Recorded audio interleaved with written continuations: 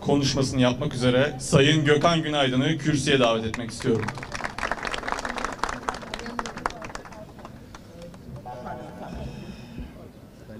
Evet, çok değerli milletvekili arkadaşlarım, Sayın Genel Başkan Yardımcım, Sayın İl Başkanım, çok değerli muhtarlarım, Sulama Kooperatifi Başkanlarım, Toprak Mahsulleri Ofisi'nden emekli sevgili dostlarım ve sevgili Polatlılar.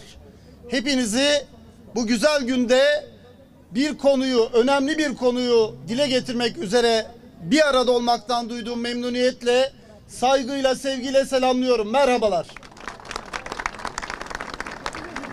Evet, 1988'de sınava girerek, sınavı kazanarak Toprak Mahsulleri Ofisi'nde eksper olarak çalışmaya başladım.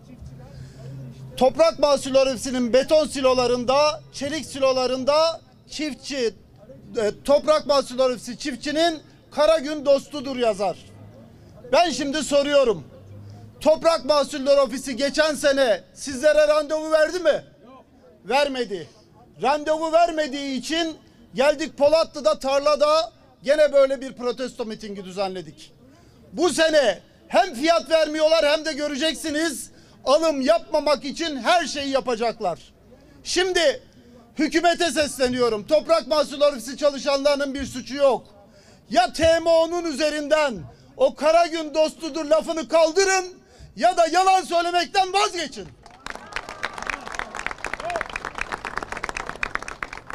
Arkadaşlar, Türkiye yılda 1 milyon nüfus artıran bir memleket. Buna karşılık uyguladıkları yanlış tarım politikaları nedeniyle buğday ekim alanları 9,5 milyon hektardan 6.4 milyon hektara düştü. Yani çiftçi artık buğday ekmekten vazgeçiyor. Ne kadar zamandır? Tam 20 yıldır. Ancak bu sene hani tüy dikmek derler ya bu sene tüy dikiyorlar. Geçen sene 7 lira olan arpaya 25 kuruş zam yapıyorlar. Yüzde 3 zamla 7 lira 25 kuruş diyorlar. Geçen sene 8250 lira olan buğdaya yüzde 12 zam yapıyorlar ve 9250 lira diyorlar. Peki hani şu yalancı TÜİK var ya tanıyorsunuz değil mi yalancı TÜİK'i? Yalancı TÜİK ne diyor? Enflasyon yüzde 75 diyor. Hepimiz biliyoruz ki gerçek enflasyon yüzde yüzün üzerinde. Ancak tarımdaki girdi fiyatları arkadaşlar bu enflasyon rakamlarının da çok üzerinde çıktı. Yani siz mazotu, gübreyi, zirai ilacı, tohumu geçen yıla göre yüzde yüzden daha fazla fiyatla bu sene almak zorunda kalacaksınız. Ama size diyecekler ki yüzde on iki zam yapıyorum buğdayına, yüzde üç zam yapıyorum arpana. Bu nedir biliyor musunuz? Ben bu memlekette yerli çiftçiyi öldürmek istiyorum demektir. Ben bu memlekette ithalat lobilerinin hükümetiyim demektir. O halde bize düşen bir şey var. İyi niyetle onları bu yanlıştan dönmeye davet ederek bu işler olmaz. Tıpkı, tıpkı yurt dışında olduğu gibi çiftçi yolları kesecek. Çiftçi Toprak Mahsulü önünde, Tarım Bakanlığı önünde protesto eylemleri yapacak. Ziraat odaları alana çıkacak. Arkadaşlar bakın biz bugün Polatlı'dayız. Geçen hafta Rize'deydik.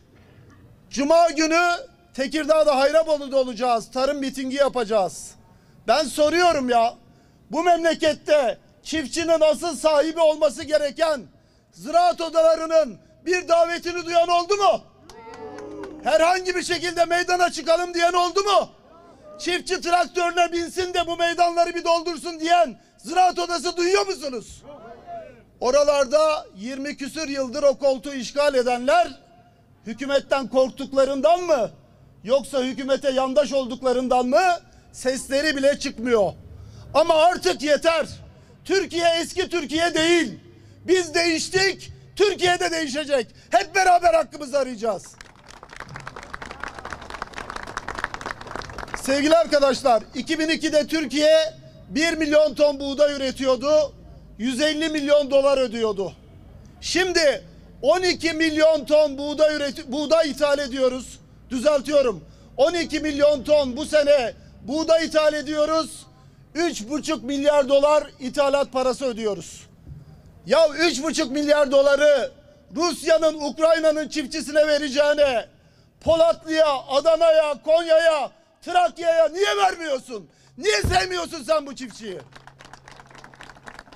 Değerli arkadaşlar bu düzen böyle devam etmeyecek ama bu düzen hakkını arayanlarla beraber değişecek.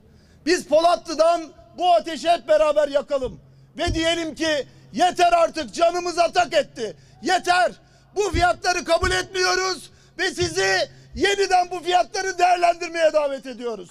Eğer yapmazsanız alanlarda bizi göreceksiniz, meydanlarda bizi göreceksiniz.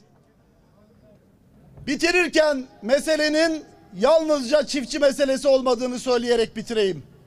Kır yoksulları eziliyor, kır yoksulları öldürülüyor. Aynı zamanda kent yoksulları da öldürülüyor. Dünyada tarımın başladığı bu topraklar gıda enflasyonunda dünyanın ilk üçünde. Yani Türkiye'de yurttaşlarımız en pahalı gıdayı yemek zorunda kalıyorlar. Sebebi ne? Çünkü başımızdakiler tarım denilen bir şeyi, gıda denilen bir şeyi tanımıyorlar. Yoksuldan, çiftçiden ve mutfağını kaynatamayan adamdan nefret ediyorlar. Bu düzeni hep beraber değiştireceğiz. Ellerimizi kaldıracağız. Yeter artık diyeceğiz. Yeter artık diyor muyuz arkadaşlar? Kaldıralım ellerimizi. Polatlı'dan yükselen bu çığlık Türkiye'yi çok yakında saracak ve ekselanslarının bu fiyatları nasıl geri almak zorunda kalacaklarını hep beraber göreceğiz. Ben bu düşüncelerle bu mitingi organize eden Polatlı ilçe başkanlığımıza çok teşekkür ediyorum. Buraya gelerek bizlere katılan tüm yurttaşlarımıza saygılarımı sunuyorum. Daha güzel bir Türkiye'yi el birliğiyle hep beraber yaratacağız. Çok teşekkür ederim. Sağ olun, var olun.